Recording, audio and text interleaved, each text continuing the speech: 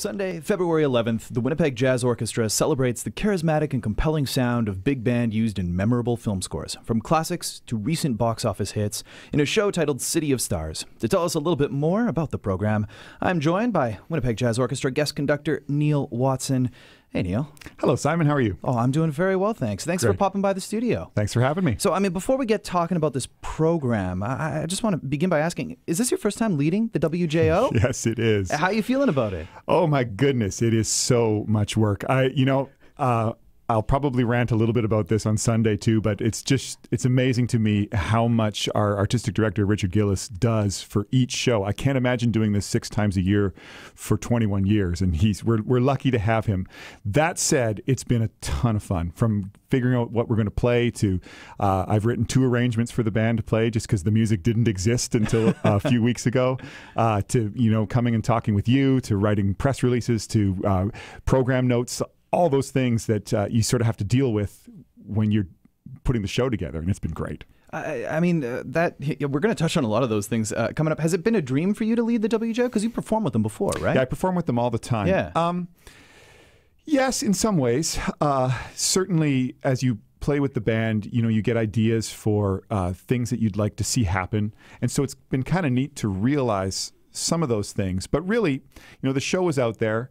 Uh, it was uh, this one coming up, City of Stars, was suggested, I think, at one point by somebody in the audience, which a lot of our show ideas come from people who come to the concerts. And so when Richard asked if I would take this one over, um, I sort of sort of fit my ideas into what I wanted to see for this show. Nice. Uh, so the program itself, I mean, it's a it's a fun one to lead. I mean, you're getting to perform film scores. How, did you get to program tho- those films? Yeah, basically, um, I as soon as uh, Richard asked me to direct this show, a few of the songs that we're performing on Sunday popped instantly into my head. Nice. Uh, so, for example, the uh, theme song from the movie Incredibles, which is one of my favorite movies of all time. I had two young kids, so I see all of those Pixar films, Yeah. and I love that movie. Uh, that one, uh, there's a movie that we're gonna we're performing uh, uh, a Robert Altman film called Kansas City, uh, and he put together this great cast of musicians in set in early 1930s Kansas City, uh, and the the soundtrack is incredible. I wanted to do something from there.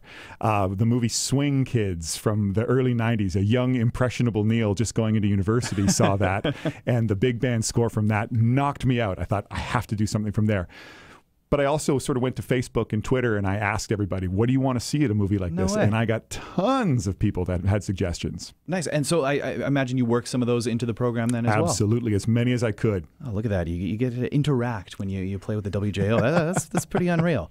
Um, so uh, you, you touched on one of the things. I mean, not all of these scores that you've mentioned exist in a big band arrangement. Um, you did a couple of the arrangements yourself, Yes. right? What, what's that process been like? Um, it's it's I really enjoy it. I Yeah. really enjoy uh, writing for big band. I'm pretty new at it. I haven't done a lot of that. We've got some arrangers in the band who are seasoned veterans at writing for big band. For me, this is a relatively new thing, but but I I to to sort of get in your head what you want it to sound like. And then realizing that, so last night we rehearsed, and I got to hear these scores that I had written for the first time, and uh, I, it was so exciting. It was so, uh, you know, to my ear, it sounded really, really good. I'm very excited. I'm sure everyone will feel the same way. I hope so. Yeah, no kidding. Um, so uh, from there, I mean, the show's titled "City of Stars," uh, which is a, a song sung by Ryan Gosling and Emma Stone in La La Land. Music by Justin Hurwitz. It's a great tune. It's an earworm. As soon as I, I've read the title, it's been kind of going in my head nonstop. Um, what made that the, the title of this program? What resonated for you? Um, well, the uh, truth be told, when when we were when this idea, audience members sort of came forward, and, and I guess with the success of that movie, Totally. and uh, a couple years before that with the movie Whiplash, uh, somebody said, "Look, we'd like to hear you know these music from these movies and others." Uh, La La Land is uh, it's not really a big band so much No. in the movie. It's it's a musical. It's just an unabashed Absolutely. musical, and so the song "City of Stars."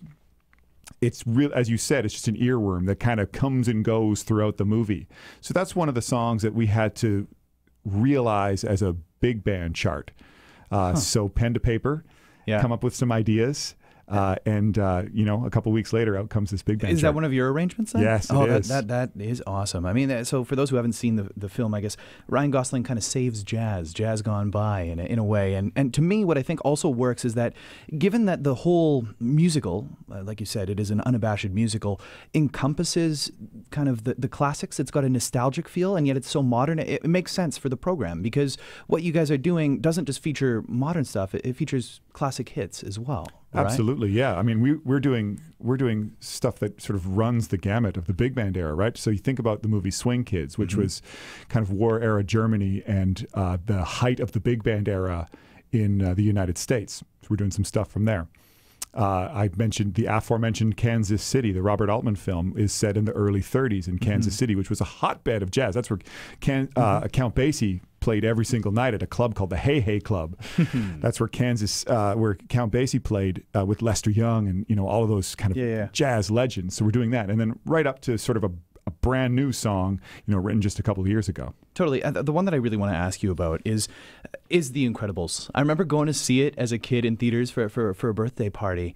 Um, is it like one that's surprised you? Like I, I don't. Admittedly, I remember the movie. I don't remember the score. What? what? Oh, Wait till you hear it. Exactly. That's what I mean. Like, has, has, has there been uh, one film in particular that surprised you with the music that you maybe uncover when you, you remove the visual cues and, and just listen orally?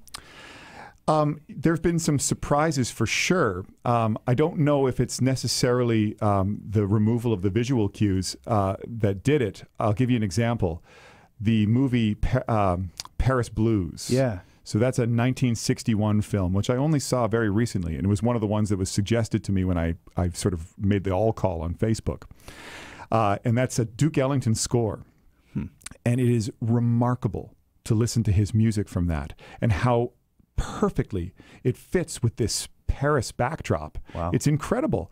Uh, so that one, that one was a real surprise. Uh, just at the quality of the music that's going on pretty much constantly throughout the film. There's this big band music being played all the way through it. It's something else. I think I know what I have to watch this weekend then. You got to check it out. Yeah, Yeah. it's uh, it's Paul Newman and Sidney Oh, Poitier. nice. Yeah, yeah, it's classics, it absolute classics. Um, so uh, you guys, it's not just the WJ up, J- WJO up there. You guys are also going to be joined by a couple of vocalists as well. Yes. Uh, so playing the role of Ryan Gosling. Oh, nice. We have uh, Curtis Newton, who's a local uh, singer and uh, performs all the time uh, around town. Great performer, great singer. So excited to have him. Uh, and Michaeli Rodnick.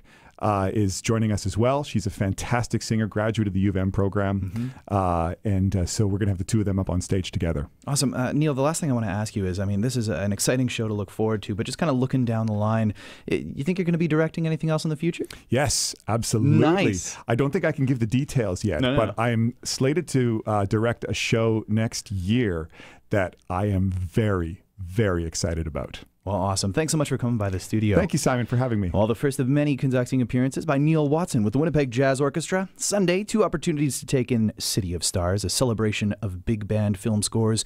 2 p.m. and again at 7:30 at the Winnipeg Art Gallery. For more information, visit winnipegjazzorchestra.com or the events tab on Classic 107.